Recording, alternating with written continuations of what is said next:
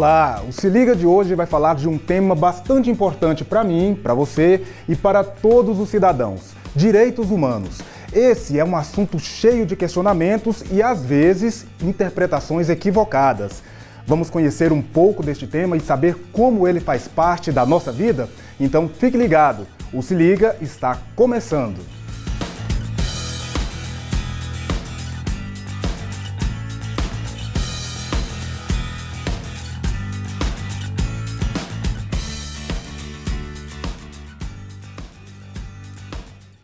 A educação pode promover o acesso a direitos que são fundamentais a todas as pessoas.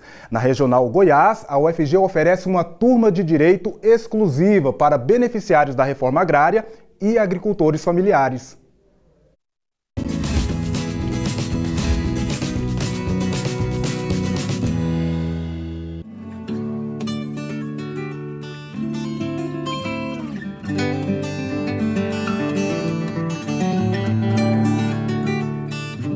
Nome é Érica Macedo Moreira, sou professora aqui na Regional Goiás e estou com a tarefa de coordenar esse projeto que é a segunda turma de Direito para beneficiários da reforma agrária e agricultores familiares.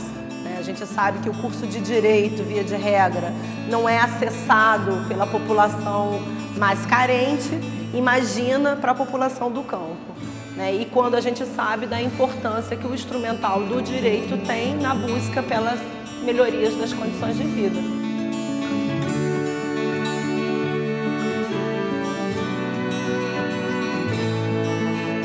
Eu sou Antônio Marcos, sou militante do Movimento Sem Terra, moro em Palmas, no Tocantins, e também sou assentado da Reforma Agrária. Percebendo essa, essa dificuldade que os camponeses sem terra têm de uma assessoria jurídica popular que compreendesse a realidade e a luta do, dos trabalhadores sem terra e de outros povos também, além dos povos sem terra, da necessidade de ter um profissional que atuasse compreendendo essa realidade, mas também na defesa do direito jurídico desses povos e dos seus direitos sociais. Então ele tem acesso aos mesmos conhecimentos e conteúdos que são desenvolvidos em qualquer graduação em direito, qualquer turma da graduação em direito aqui na Regional Goiás. A especificidade desse curso gira em torno da pedagogia da alternância, que é essa perspectiva de articulação entre teoria e prática. Dois tempos, que é o tempo universidade, que é o tempo que nós estamos aqui nos momentos educativos das aulas, curriculares com diversas disciplinas aqui e o tempo comunidade, que é a nossa vivência da nossa realidade nos diferentes estados e comunidades na qual a gente mora e atua. E um segundo elemento que é importante de destacar dentro do programa, que também é um diferencial pedagógico importante, é a dimensão da organicidade. Então, para a gente dar conta da articulação entre teoria e prática, a gente estimula um processo de produção do conhecimento que é coletivo e não individualizado. Então, a universidade, além né, da gente se vestir de povo e estar tá mais próximo dessas realidades, né, é, passa a viver também de forma mais intensa os problemas que estão colocados na realidade agrária contemporânea. Né?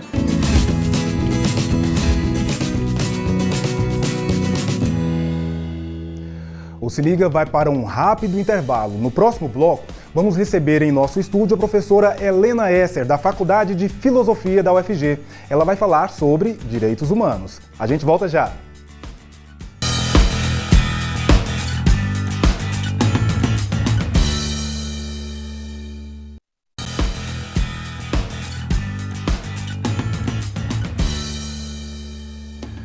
O Se Liga está de volta e o tema de hoje é direitos humanos. Para isso, recebemos em nosso estúdio a professora Helena Esser, da Faculdade de Filosofia da UFG, que atua também no Núcleo de Direitos Humanos e na pós-graduação interdisciplinar em Direitos Humanos, e ela vai nos ajudar a esclarecer dúvidas sobre esse assunto. Tudo bem, professora? Olá, tudo bem. Um prazer Obrigada pelo convite. É isso, prazer é nosso receber a senhora aqui. E eu queria já que a senhora pudesse uh, dizer como podemos definir direitos humanos em poucas palavras.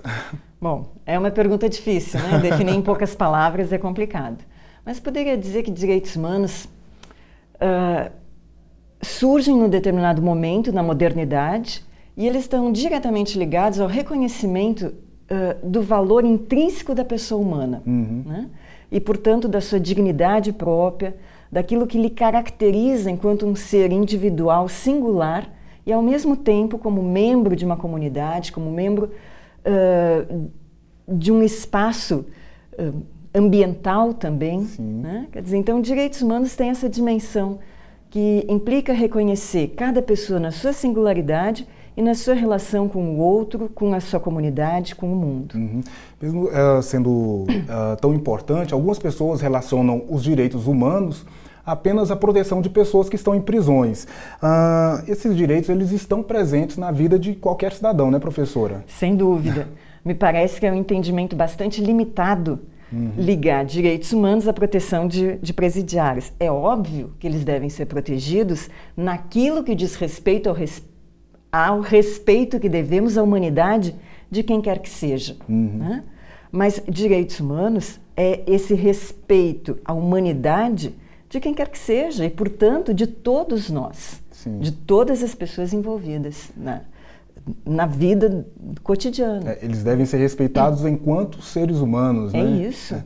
Professora, é, em alguns momentos da nossa história, como na escravidão, na ditadura, por exemplo, os direitos humanos eles foram violados. Uhum. Atualmente ainda existe resquício desses momentos e isso pode ser uma ameaça para, para os direitos já conquistados? Bom, existem muito, existe muito mais do que resquícios. Né? Nós temos claramente violações de direitos humanos. Uhum. Né? Uh, bom, só para falar da escravidão que houve no Brasil, depois da abolição da escravatura pela Lei Áurea, a gente ainda tem hoje trabalho análogo ao de escravos. Sim, é verdade. Né? Então, bom, sim, nós temos. Infelizmente, temos no Brasil diversas circunstâncias que são claramente de violações de direitos humanos. Uhum. Essas circunstâncias elas podem ser uma ameaça para os direitos que, que já foram conquistados? Bom, uh, sim, pode, pode ser ameaça. Pode ser ameaça no seguinte sentido. Uh, em, as conquistas de direitos são sempre frágeis, uhum. né? porque não basta simplesmente que a lei determine alguma coisa. Veja, as nossas leis brasileiras impedem o trabalho escravo. Contudo, nós temos. Né? Então, qual é o problema? O problema é muito mais do que a mera redação da lei, é um problema de ação, de concepção. Uhum. Quer dizer, quem no Brasil desrespeita a lei? Por que, que ele faz isso? Né? Por que, que alguém se coloca na posição de tratar seus empregados, seus como escravos, de maneira análoga aos escravos, porque ele não tem uma mentalidade adequada ao respeito à pessoa do outro, Sim. ao respeito aos direitos humanos. Uhum. Ainda existe uma parcela da população que não desfruta ou não acessa desses direitos humanos? Sim, claro, porque veja bem, uh, direitos humanos é muito mais do que direitos protegidos pelas leis. Uhum. Né? Quer dizer, os direitos humanos, uh, eles estão na base, são os princípios norteadores da Constitu das constituições, da Constituição brasileira entre elas, de inúmeras leis, de inúmeros tratados internacionais. Mas o fato de ser norteador, duas coisas. Primeiro, não significa que as leis efetivamente protejam, e tampouco significa uh, que aqueles ainda que as leis pretendem proteger esgotam o rol das reivindicações pelo reconhecimento dos nossos direitos fundamentais. Uhum. Né? O respeito à singularidade, à capacidade da pessoa ser o que é. Né? Quer dizer, quando a gente fala de direitos humanos, a gente tem que pensar que todos nós somos iguais e livres exatamente porque temos condições de ser o que nós queremos ser, o que, no, o que cada um faz de si mesmo. Se nós somos livres, nós podemos pensar por nós mesmos eh, e, que, e manifestar a nossa singularidade. Portanto, uh, todo mundo pode fazer isso. Sim. E se todos podemos fazer isso, fazemos de maneiras diferentes. Uhum. Nos expressamos de maneiras diferentes. Com isso, nós temos divergências. Ora, o que, o que resta a cada um? Respeitar a posição, esta posição, essa manifestação do outro. Né? Okay. E esta é a grande dificuldade. Sim, é verdade. Principalmente nos, nos tempos atuais, né? Claro. De respeitar. Respeitar o diverso, entendendo que essa diversidade é a expressão da humanidade de um ser singular. Ok. Uh, o Se Liga ele vai para um breve intervalo, mas já voltamos para continuar esse bate-papo com a professora Helena.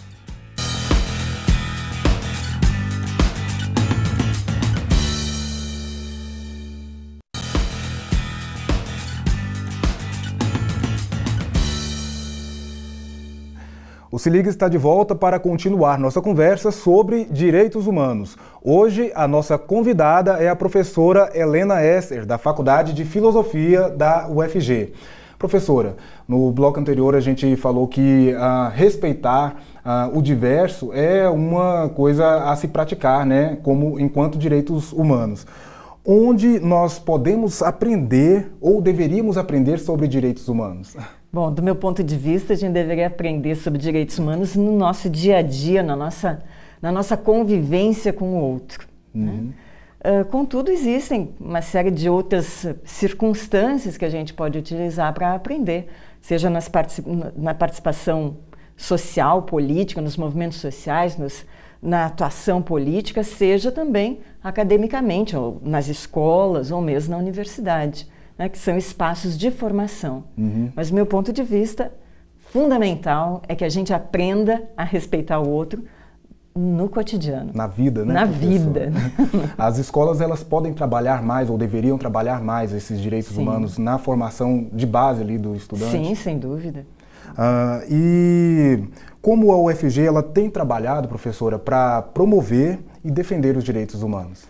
Olha, a UFG tem feito muitas coisas. Né? Assim, eu posso lembrar de algumas aqui, posso tentar citar algumas. Uhum. Mas, por exemplo, a UFG guarda no SIDARC os documentos relativos à, à ditadura militar.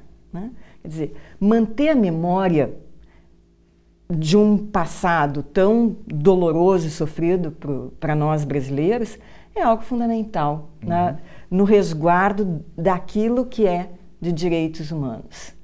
Um, a universidade tem um observatório de direitos humanos, nós temos a coordenadoria de ações afirmativas. Né, a universidade foi uma das primeiras universidades do Brasil que reconheceu o nome social né, uhum. uh, como válido internamente para todo, em todas as circunstâncias da universidade. Fora isso, assim, em termos mesmo assim daquilo que é a atuação própria da universidade, que é a formação, a universidade tem seminários, tem uma série de, de disciplinas que são oferecidas, seja para graduação, seja pós-graduações lato senso, a nível de especialização, seja pós-graduação a nível estrito senso, que é programa de, de mestrado ou uhum. doutorado. Por enquanto, nós temos um mestrado interdisciplinar em direitos humanos. Sim. Quer dizer, são espaços de formação. E essa é digamos assim, a finalidade de uma instituição universitária, né? Formação Sim, de profissionais. Claro. E qual é o, o, perfil desse profissional que deseja atuar nessa área de direitos humanos e por onde ele deve começar? É. Bom, a princípio, eu acho que todos os profissionais têm sempre que ter na sua, na sua atuação a preocupação em agir com respeito à pessoa do outro. independente da independente área que atua, né? da área que atua, independente de qualquer formação uh, mais uh, acadêmica, né? Quer dizer, uhum. é, a, qualquer profissional deve agir desse modo, né? em qualquer circunstância.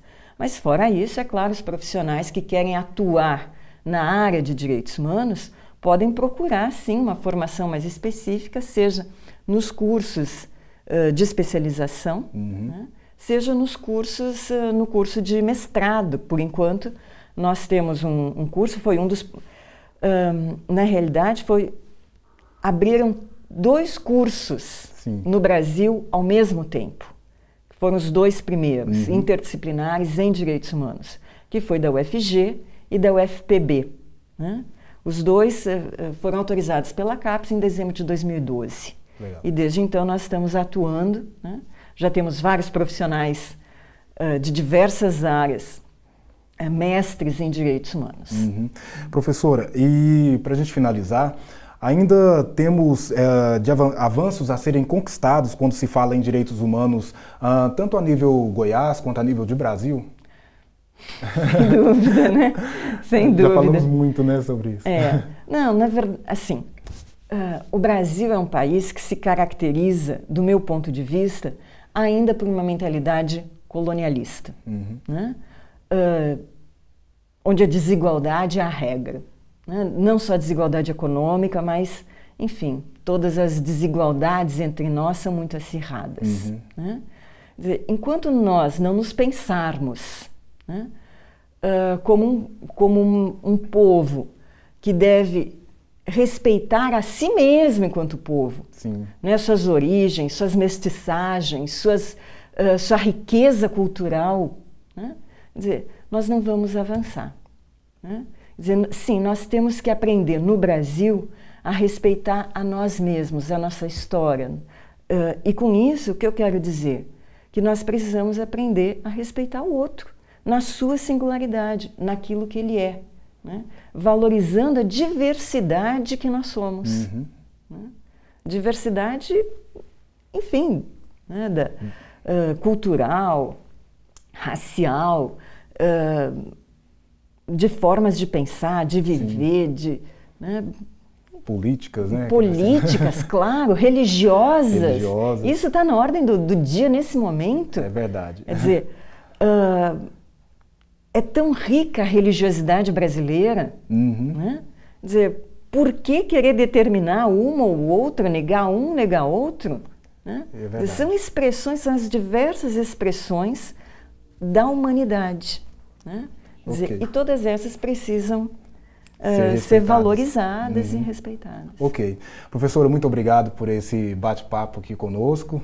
Espero tê-la aqui novamente para a gente discutir outros assuntos. Obrigada a você, Marcela. É sempre um gosto poder participar. Obrigado.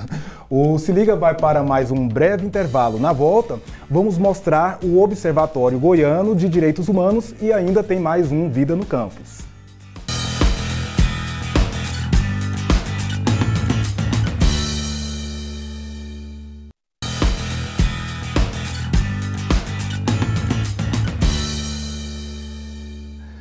O Observatório Goiano de Direitos Humanos é vinculado à Faculdade de Ciências Sociais da UFG. Lá, professores, estudantes e pesquisadores compartilham conhecimentos e buscam promover o acesso aos direitos humanos junto à comunidade.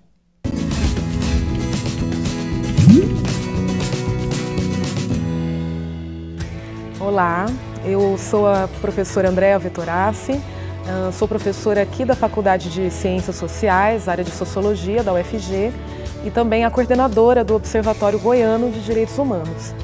E o objetivo de eu estar aqui hoje é o de lhes explicar é, o que é o observatório e qual a sua função, não só aqui dentro da UFG, mas também fora dela, para a comunidade goiana. O Observatório Goiano de Direitos Humanos é, surgiu de uma demanda que veio é, do próprio Comitê de Direitos Humanos, que é do governo federal e também de outras instâncias da, é, da, da sociedade em geral, e foi criado dentro da Faculdade de Ciências Sociais, portanto, ele conta com muitos pesquisadores e professores da própria faculdade. Foi fundado dentro da UFG, mas com o objetivo de atender uma demanda e uma carência que vem de toda a comunidade. Então, nós atuamos em três áreas é, especificamente a área de pesquisa, a área de ensino e a área de extensão. Os métodos que nós usamos é o tanto da divulgação desse conhecimento a partir das redes sociais, a partir de mesas redondas, de atividades extracurriculares, como também a partir da pesquisa feita nas áreas de sociologia, ciência política, direito e também é, a partir do ensino e da extensão, que vai desde a sala de aula, é, na discussão com os discentes, por exemplo, do curso de Ciências Sociais, como também fora dela, a partir dos eventos que o Observatório promove, para que, que a comunidade entenda melhor o que significam os direitos humanos. Muitas vezes as pessoas têm uma visão equivocada do que são os direitos humanos. Direitos humanos são feitos para todos nós, sem eles, sem pessoas lutando em prol dos direitos humanos, nós não teríamos, por exemplo, uma Constituição federal, nós não teríamos legislação específica para os direitos do trabalhador. Ou seja, todos nós, na condição de cidadãos, é, se relacionando numa sociedade, temos acesso a esses direitos que são universais.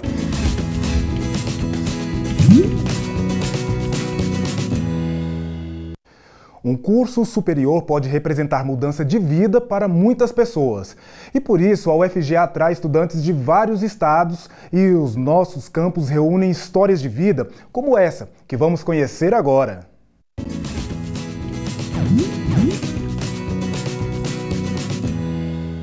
Meu nome é Marcos Paulo Carola Souza, é, tenho 21 anos, faço curso de Direito no período matutino, ah, o meu ensino médio, tanto o ensino fundamental também, foi muito difícil. Eu vivia numa cidade do interior do Maranhão chamada Grajaú. É uma cidade que é de baixa renda e que as pessoas têm uma série de dificuldades ainda com a escolarização e com, enfim, com a condição de uma vida melhor. Aos 17 anos eu fiz o, o Exame Nacional do Ensino Médio e a partir de então eu consegui uma bolsa numa instituição particular, no Instituto Afonso de Ensino Superior em Trindade. E então eu vim para Trindade para cursar o, o, curso de Direito. É, a partir de então, é, os professores dessa instituição, em Trindade, eles continuaram, é, como os meus professores do ensino médio também, me incentivando muito, vendo a, toda a luta, toda a dificuldade que a gente tinha de se manter aqui, visto que eu só tinha um apoio da minha mãe e, e algumas pessoas que eventualmente davam algum apoio financeiro até mesmo. Então, com esse incentivo e com, com sempre elogios pela, pelo esforço, é, eu decidi que eu farei o vestibular da UFG.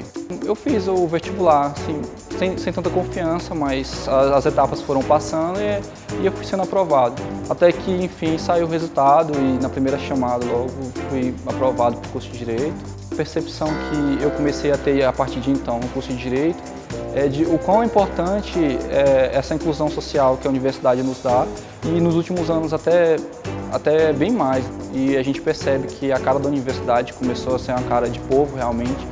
E isso é importante para a universidade, porque a universidade, ela, além de tudo, ela é uma prestação de serviço para a sociedade. E a universidade tem que parecer com o povo também, ela tem que produzir para o povo. Muitos colegas aqui têm um sonho de ser magistrados ou advogados de muito sucesso. Eu tenho o sonho de ser professor, porque eu acredito muito na, na educação, acredito muito que é, eu tenho um dever, como minha mãe também, que é professora, tem, de educar as pessoas, de de alguma forma mudar é, a vida dessas pessoas a partir da educação.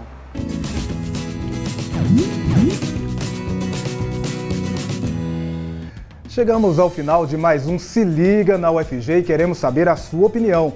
Entre em contato conosco através do nosso e-mail, das redes sociais ou pelo nosso site. Aliás, no site da TV UFG você pode rever este episódio do Se Liga e toda a nossa programação sem pagar nada. Acesse lá. A gente se vê no próximo episódio. Tchau!